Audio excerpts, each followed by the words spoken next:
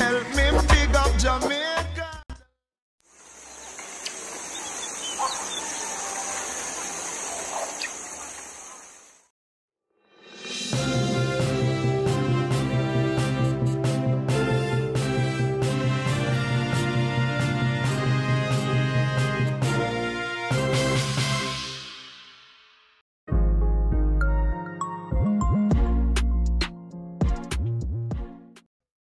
A taxi operator is dead, and dozens of people are homeless following a gun and arson attack in Gregory Park, St. Catherine, on Saturday morning. The deceased has been identified as 28 year old Rainiel Houghton, otherwise called Rum Punch, of a Walker's Avenue address in the community. Information reaching the media is that about 3:50 a.m., Houghton and friend were sitting on a car on Walker's Avenue when shots rang out. They ran in a bid to escape, during which Houghton sustained gunshot wounds to his upper body and right arm and collapsed. Shortly after, a group of men armed with rifles and handguns then made their way to where the fire victims were asleep. They reportedly threw gas oil on the houses, then set them ablaze and opened gunfire, which awoke the occupants of the households. While the occupants were escaping from the burning buildings, the gunmen opened fire at them and they had to retreat inside the burning houses, resulting in a complainant sustaining burns all over her body. The shooters then escaped in the area on foot. The police were summoned and both victims were taken to the Spanish Town Hospital, where Houghton was pronounced dead on arrival while the woman was admitted in serious condition the Waterford and Spanish Town Fire Department visited the scene and managed to extinguish the blaze.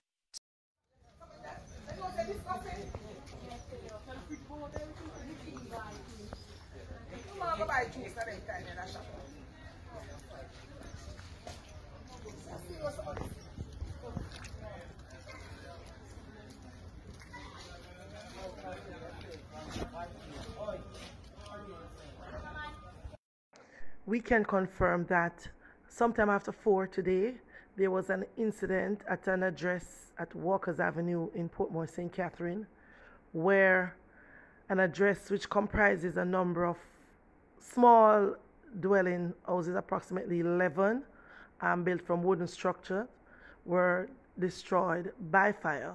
The information so far that a group of men went there and they firebombed one of the houses, and based on the structure, they're all wooden structure. The other houses um, were also affected by the fire. A total of eight of them were totally destroyed in the fire, and another three partially destroyed. No one was injured in the fire. It was also reported to the investigators that when the men were leaving, at least one of them discharged their weapon, and a taxi man who was in the vicinity he received injuries. He was taken to hospital where he died. So the investigators now are now there trying to ascertain who are the person or persons responsible for this incident. And they have since increased the presence in the area because um, they are trying to prevent any recurrence or continuation of what happened earlier this morning. And they will remain in place until they are satisfied that um, this, it is safe enough for them to withdraw the resources. A man was killed on Friday afternoon after a trailer overturned outside the gates of the Grace Kennedy Distribution Center in St. Catherine. Grace Kennedy confirmed in a media release on Friday that the accident took place at approximately 2:15 p.m. It said the accident involved a trailer with a 20-foot container and a private motor vehicle. No one else was injured in the incident. The Jamaica Constabulary Force and Jamaica Fire Brigade were reportedly quick on the scene.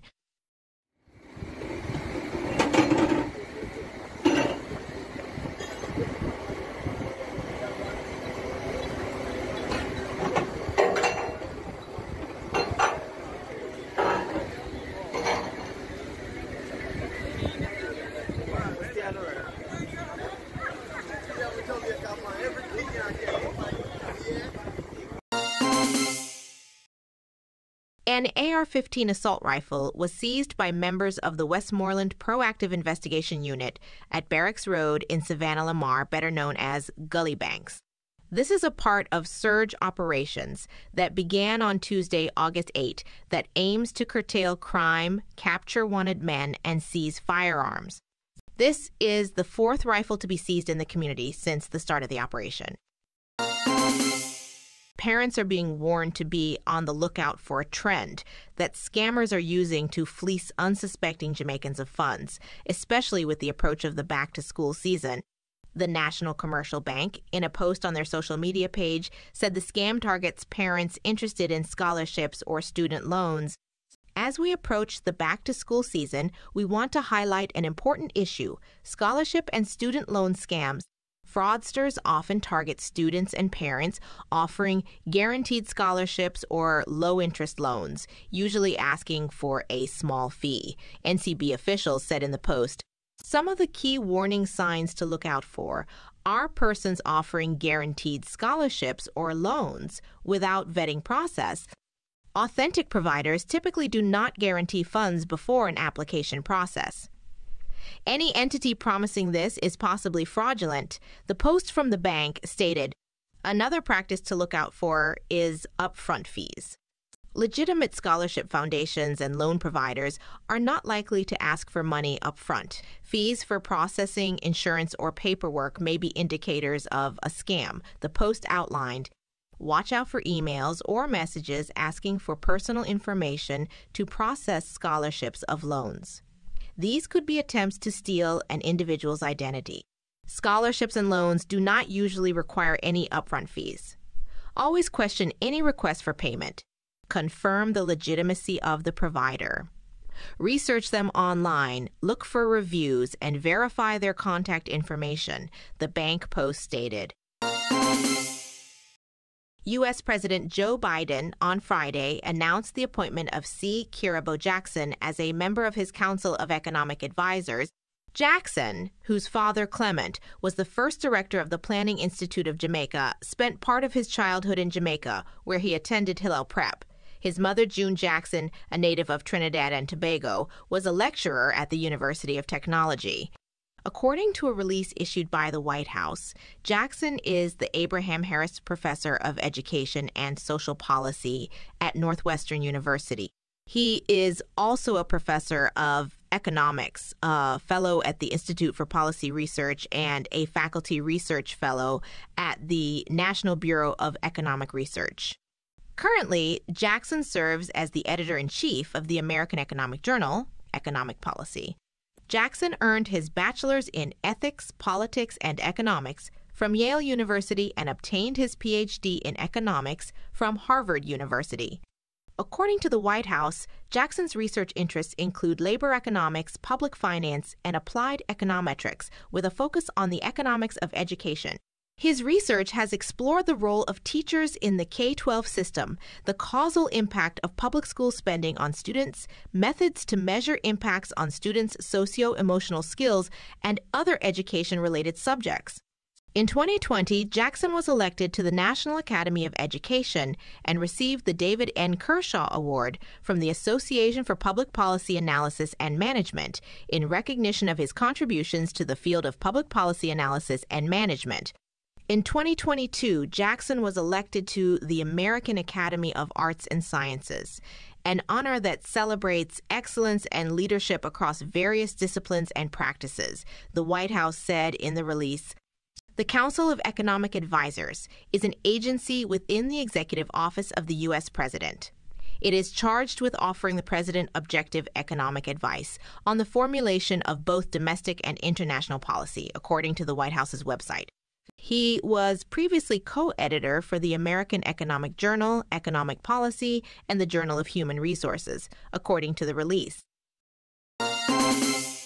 Two time Grammy nominated reggae artiste Etana has indicated that she has no interest in working with established Jamaican owned record label VP Records, with whom she is embroiled in a multi million dollar lawsuit over alleged breach of contract and copyright infringement. Etana, whose birth name is Shauna McKenzie, gave the clear indication in a post to social media Thursday, in which she shared a screenshot of an email from VP artists and repertoire A&R representative Richard Shams Brown, inviting the singer to record a single for an upcoming Christmas project the label is working on. In the post to her official Instagram page, Etana likened the action by Brown to the transatlantic slave trade when Africans sold their own to the white slave masters. In the email requesting Etana's involvement in the project, Brown, an established producer, acknowledged issues between the singer and VP Records, but indicated nothing tried, nothing done. Following Etana's response, Brown took to the comments section under Etana's post and sought to clarify that he acted independently in his request. He went on to state that he loves and respects the entertainer's talent and that he never expected her to react the way she did. In January 2022, Etana filed a lawsuit against New York based VP, which distributed four albums for Etana, starting with The Strong One in 2008 and ending with Arise in 2014, citing several royalty related claims. However, in December 2022, a New York judge dismissed nine of Etana's 14 claims. The singer filed an amended lawsuit in January seeking more than US $10 million in damages. As Jamaica is nearing the end of the mango season, mango lovers are trying to eat all they can before the juicy, creamy fruits disappears from the trees and the street vendors whether you enjoy eating long mango, black mango number 11, or any other type, here are some health benefits of the tasty fruit. Mangoes, often hailed as the king of fruits, not only tantalize our taste buds with their sweet and juicy flavor, but also offer a plethora of health benefits that contribute to overall well being. From boosting immunity to supporting digestion, these tropical delights have earned their reputation as a nutritional powerhouse. Mangoes are rich in vitamin C, an essential nutrient known for its immune boosting properties. Consuming mangoes can help strengthen your body's defense against infections and promote a healthy immune system. These vibrant fruits are loaded with antioxidants like beta carotene and other compounds that help combat oxidative stress and reduce the risk of chronic diseases. Mangoes contain dietary fiber and enzymes like amylases, which aid in digestion. Including mangoes in your diet can help alleviate digestive issues and promote a healthy gut. The high content of vitamin A in mangoes supports vision health and may reduce the risk of age related macular degeneration. Mangoes are a source of vitamins and antioxidants that contribute to healthy, glowing skin. They can help improve complexion, fight acne, and slow down the aging process.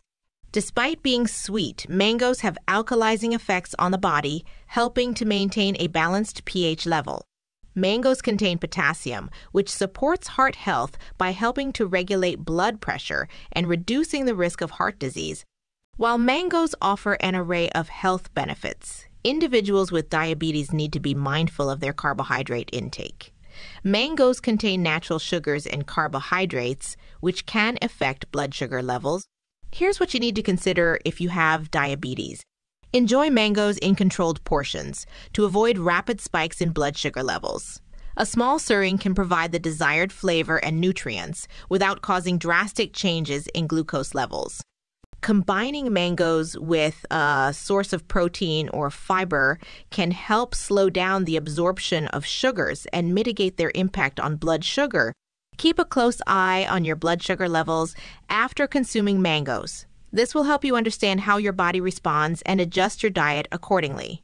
Opt for fresh ripe mangoes over processed mango products, as they tend to have higher fiber content and a lower glycemic index. In conclusion, mangoes can be a delightful and nutritious addition to a balanced diet. For individuals with diabetes, careful portion control and mindful eating practices are essential to enjoy the health benefits of mangoes without compromising blood sugar levels. As with any dietary considerations, it's advisable to consult a healthcare professional or a registered dietitian to tailor your diet to your specific health needs.